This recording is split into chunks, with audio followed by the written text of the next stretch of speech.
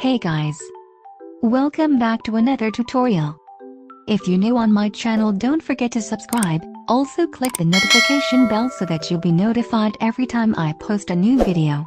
For today's Lightroom tutorial, I will show you how to create this filter. If you want to download the preset, I will put a link in the description box for you to download. DNG file is protected by a password and it will appear separately as a YouTube card on the upper corner of your screen.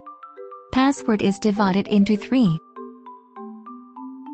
Combine all to unlock the download.